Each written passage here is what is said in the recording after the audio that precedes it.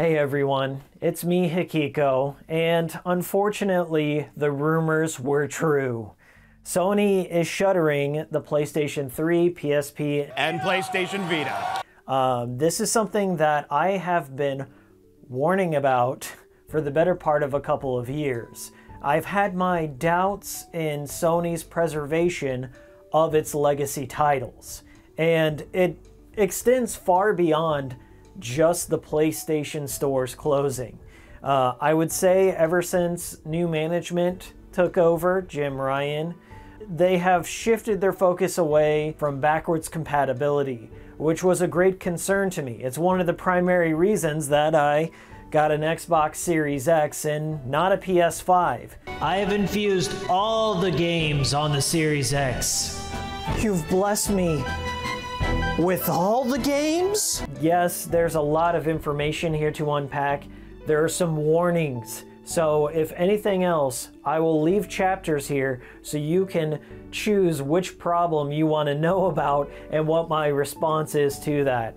I have uncovered one of the biggest DRM bugs within the PlayStation 3 and it also extends to the PlayStation 4 and we do not know if this also exists on the PlayStation 5. So, what this video is going to do is go from the very beginning of this rumor of the store closures, what that meant, and what you can do to back up your games. And I'm not going to cause any sort of panic. The last thing I want to do with this video is go out there and tell everyone to rush out there and buy digital games and physical games. This is a bull market, my friends. Anyone following the stocks out there, this is where the fools rush in.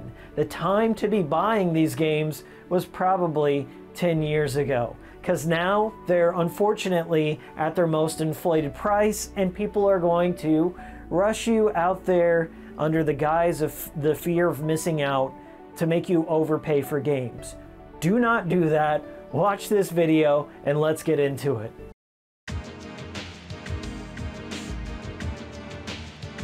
So back when this whole thing got started, it all began with The Gamer, a little known video game outlet that claimed to have an insider source at Sony that tipped them off saying that the PS3, PSP, and PS Vita stores, the digital front, was closing this summer. And many people spent a lot of time trying to debunk this, whilst ignoring the very real problem that this situation was inevitable regardless. And there was a very concerning DRM problem that no one had mentioned except for Does It Play? Does It Play, their Twitter account, go follow it. They've been warning people about this for years. So that's where I come in. I decided to go investigate this problem on my own and look at my very own PlayStation 3 to see if this DRM issue existed for me. So what I did is I fired up my PlayStation 3 with a dead CMOS battery and tried to launch my digital content whilst not connected to PSN. This was to simulate a time where PSN does not contact my PS3 to see if I was still able to access my digital content. There's a lot of misconceptions about the CMOS battery issue and I'm going to try and break them down as simply as possible.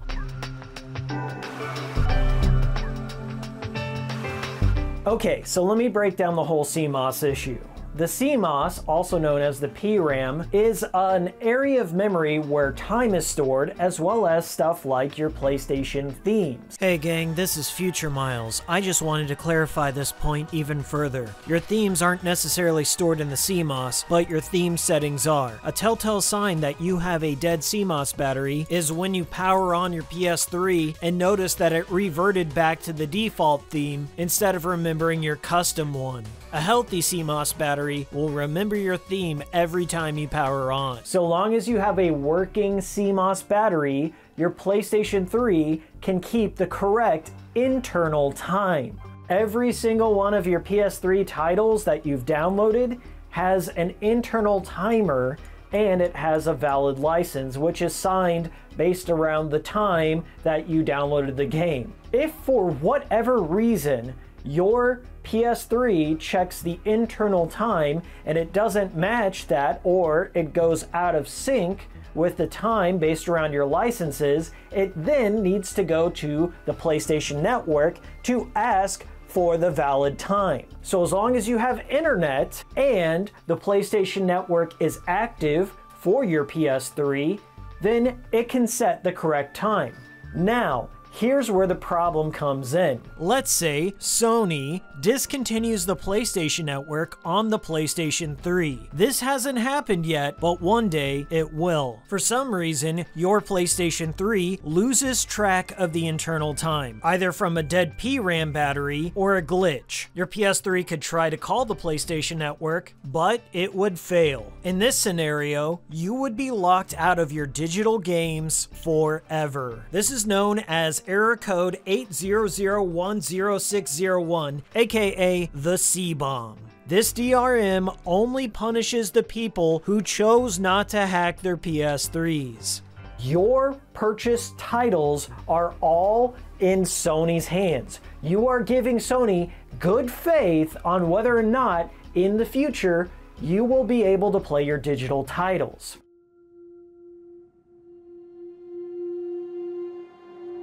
This problem is magnified even further for the PlayStation 4. Current experiments have found out that not only are you locked out of your PlayStation 4's digital titles if you have the wrong internal time, but it prevents you from booting physical discs.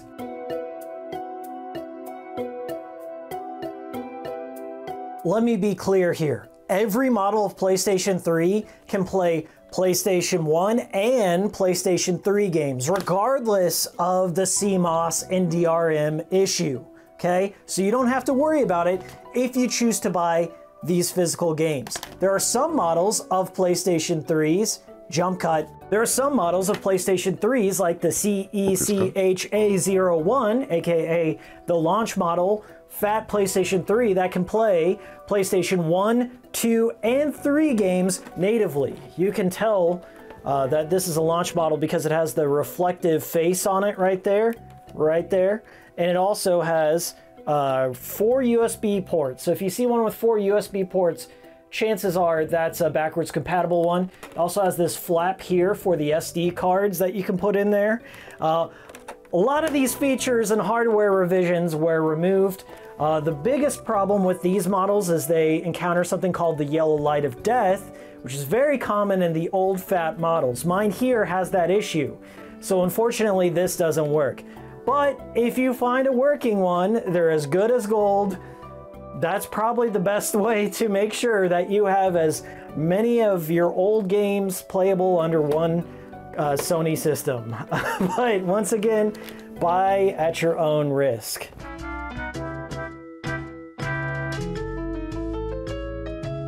First thing is, you can go on your PlayStation 3's cross media bar, go over to the account settings, scroll down to download list, and you can go through their long and disorganized, not alphabetical download list, and one by one download, I think, 50 at a time pieces of content really, really slowly. This is going to be a long and miserable process. But if you want to back up your content, that's the official way to do it.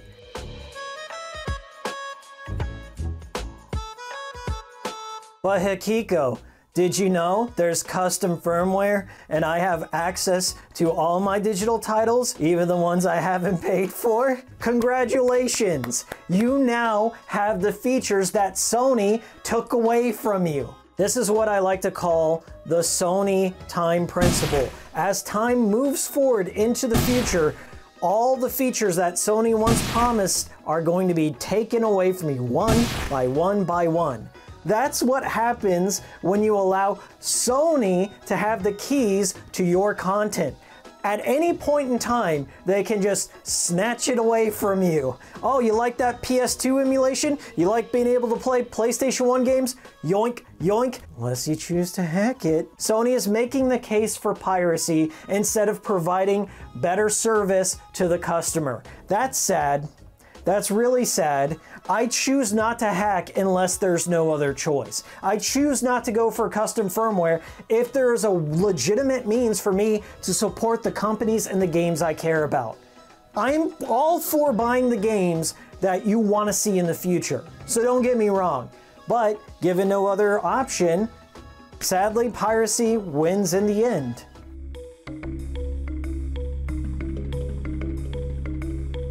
There's been a lot of I told you so's out there and victim blaming for everyone who chose to support a game in a digital format, okay? I am not a part of that camp because I can't necessarily blame somebody who bought a digital game if that was the cheaper option for them. There are some areas in the world where physical games are really freaking expensive. And all of a sudden, an enticing PlayStation Plus sale comes along and the game may be half off. That's a good reason to buy a game. Or how about you're an American gamer who enjoys the Siren series? I'm one of those guys. Well, for me, Siren, the Blood Curse, did not come out on a disc in North America. This was my option if I wanted to purchase the game in America without paying import and shipping fees. So are you gonna hate on me because I chose to support a game that I liked, given no other option? There are many cases just like this where digital was the only option presented to us. So instead of blaming the victim, why not turn your focus on Sony? They're the ones who are making all this go away. This will happen again. It is happening again. They are pushing more now than ever towards a digital only future. They're selling consoles that are digital only. Now is the time, yes, to be buying physical when possible. But at the same time, do not blame the people who went out there and did something that was completely legal and ethical and maybe the best option for them at that given time.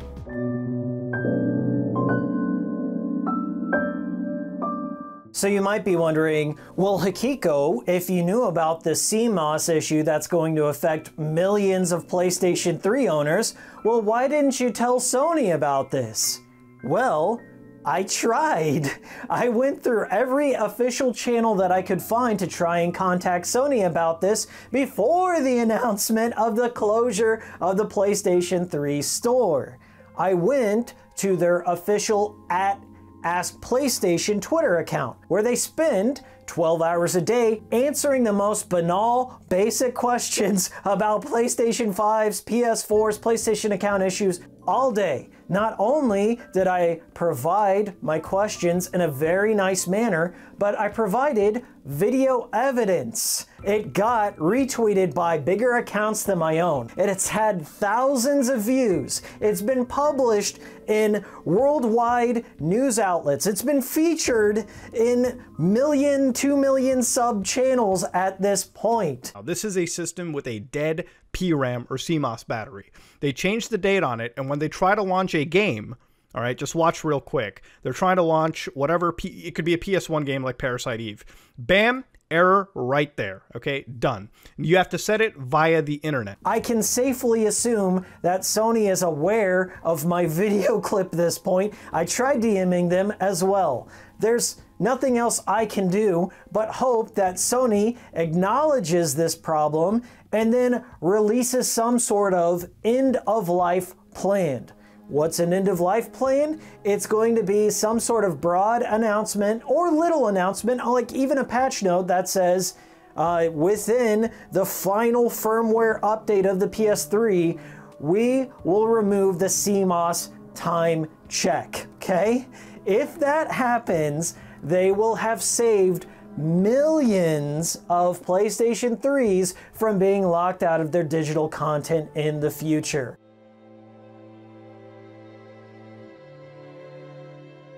Now, this begs the question can Sony be sued for this? I get a lot of people saying, oh, there's a class action lawsuit coming. Uh, in the past, that has happened. Sony has been sued for the removal of other OS from the PlayStation 3 in the past. But do we have legal grounds to stand on as consumers?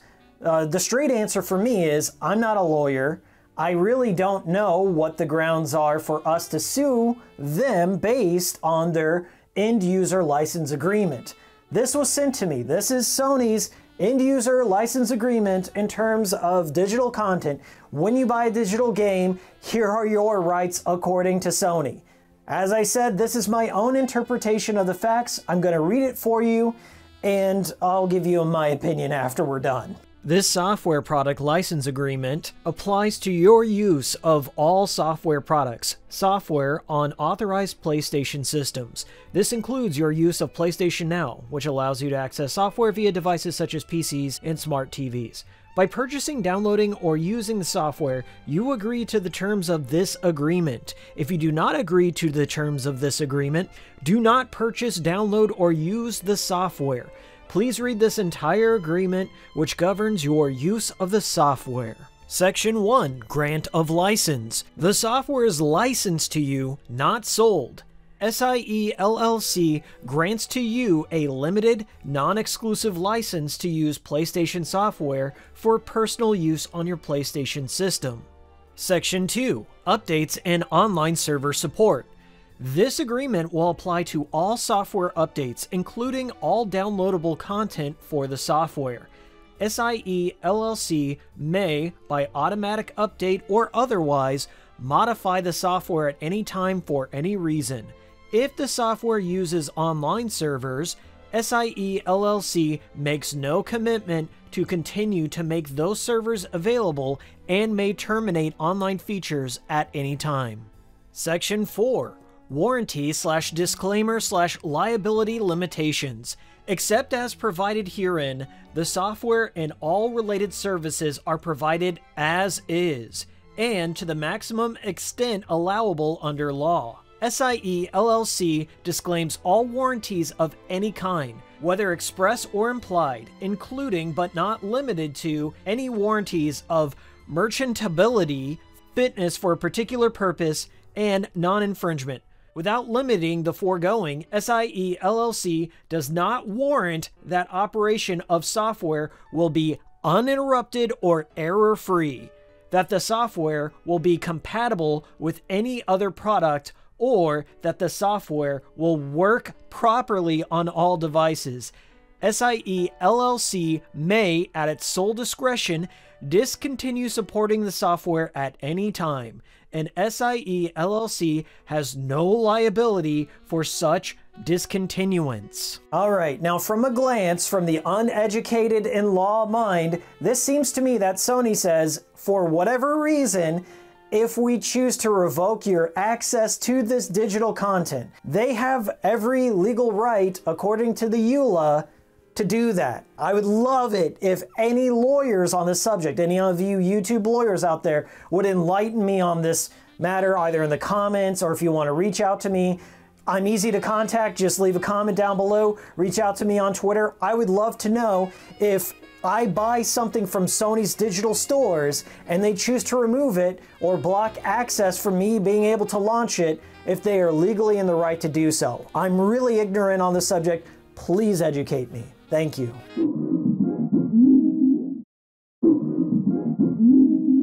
All right, before I close out this video, I want to give a major shout out to all the news outlets and YouTubers like Some Ordinary Gamers that gave me a shout out. Uh, Hikori YT actually posted this video that you can watch right now. That's me.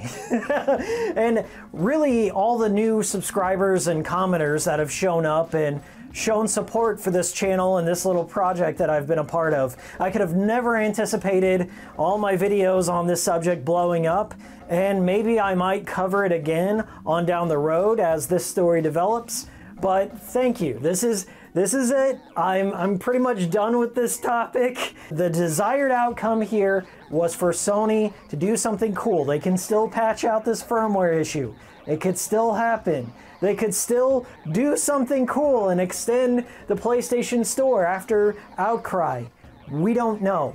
At the end of the day, the ball is in their court. Thank you so much for watching, subscribing, commenting, reacting. I'm Hikiko, and I'll see you all next time. I don't know. I don't know what this future is going to look like, but it ain't looking good. Sucks to be a gamer in 2021. Bye.